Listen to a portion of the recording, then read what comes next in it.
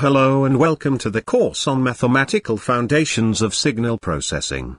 Linear algebra, Laplace transform and Fourier series of periodic signals will be introduced in the start as these are the prerequisites of the course. The objectives of the course is to teach the fundamental mathematics required for signal processing.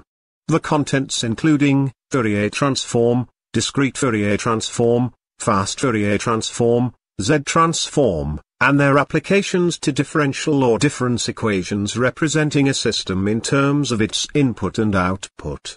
Application of these transforms such as bilinear transformation to filter design will also be presented. Transformations among different domains will be highlighted. Finally, an introduction to the probability theory will be presented which provides mathematical basis for statistical and adaptive signal processing algorithms design and analysis. A signal is a physical quantity, or quality, which conveys information. Signals can take many forms. Examples of signals include light, sound, radio transmissions, and obviously, electrical signals in circuits. In this video presentation, we examine some basic signal types, and define some of the fundamental properties of systems capable of processing those signals. A signal can be defined most generally, as a function, f of x, where x can be real or imaginary, and in theory, can represent any quantity, such as position, pressure, or temperature. But most often, a signal is defined in terms of real time, t. Thus, in most of the discussions in these presentations, the signal will be defined in terms of time, f of t. It should, however, be simple to generalize the techniques, so that they can be applied to other forms of X. There are three basic types of signals, including, analog, discrete and digital signals. An analog signal is defined for all values of the continuous variable, t. Its amplitude can assume any value of a continuous range. Some property of the medium is used to convey the signal's information. For example, an aneroid barometer uses rotary position as the signal to convey pressure information. In an electrical system, the voltage, current, or frequency, or phase, of the signal may be varied to represent the information. Any information may be conveyed by an analog signal, such a signal may be a measured response to changes in a physical variable, such as sound, light, temperature, position, or pressure. The physical variable is converted to an analog signal by a transducer.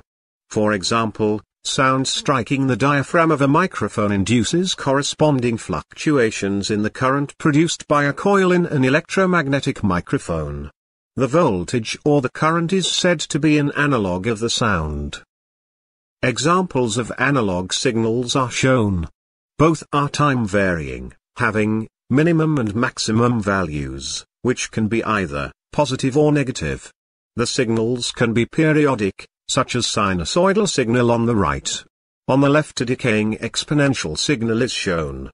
Note that, a bipolar square wave is an analog signal as its minimum value is negative. Random signals such as audio and video, are examples of analog signals as well. A discrete time signal only has amplitude values defined for discrete values of time, t. Thus, t usually assumes discrete values, that are integral multiples of some basic quantity, t. For example, f of t is equal to f of n t, where n equals 0, plus minus 1, plus minus 2, k. A discrete time signal can be obtained by taking samples of an analog signal at regular intervals. This would be called an analog sample data signal. Sampling is generally performed, given a predefined sampling rate, according to the Nyquist criteria. For example, for CDs, audio is sampled at 44.1 kHz, that is, 44,100 samples per second. A digital signal is like a discrete time signal, in that, both types of signal are defined for discrete values of time. The difference is that, a digital signal's amplitude may only assume discrete values, that are multiples of the same quantity. This kind of signal is suitable for manipulation by computers, and is therefore, in common use in many applications. A general example of digital signals is shown. Digital signals are commonly referred to as square waves or clock type of signals.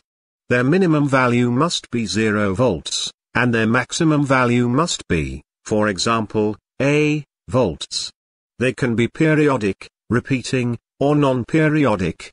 The time the signal is high can vary anywhere from 1% of the period to 99% of the period, which is the duty cycle. Text and integers, are among the examples of digital signals. Note that analog signals have more exact values, however, they are more difficult to work with while realizing the benefits of digital signals, such as storage, security, compression, and many other features. For example, a digital thermostat in a room displays a temperature of 27 degrees C on an air conditioner panel. An analog thermometer measures exactly the room temperature at 27.352, which is continuous, and more accurate, but the digital value, is more than adequate for the application, and significantly easier to process digitally. In real-time signal processing, x of n, is defined as the input signal representing the sampled value every tx. Yn is output signal representation sampled every t, y. Signal processing is a transformation f of input samples xn to obtain the output signal yn equals fxn. Tc is a computation time needed to process L input samples. System that has Tc less than or equal to L, T, X is said to operate in real time. Conditions for real-time processing are, 1 the input sample period Tx, 2, the complexity of the transformation f, 3, the speed of the signal processing computer which compute f of, x of, n, as measured by Tc. Computations with one input sample, that is, sample by sample, are completed before the next input sample arrives. In block processing, each input sample, x of, n, is stored in memory before any processing occurs upon it. After L, input samples have arrived, the entire collection of samples is processed at once. In vector processing, systems with several input and or output signals being computed at once, this can work with streams or blocks. The DSP algorithms are designed and analyzed in MATLAB, converted into C or C++ and are implemented in a digital signal processor or computer, the process data is either shared to another computer or digital to analog converter for the desired playback.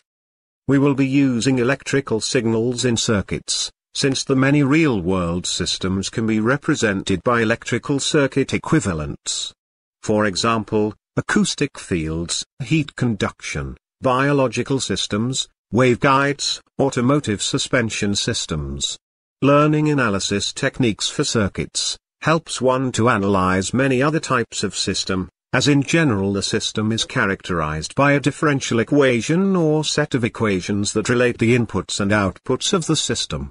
Generally, a differential equation is same for many systems, but the parameters and their interrelationships make them different.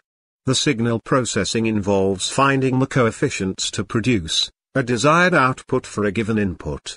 Hopefully, you will enjoy learning the course. If you are happy with the contents, please subscribe for future notifications.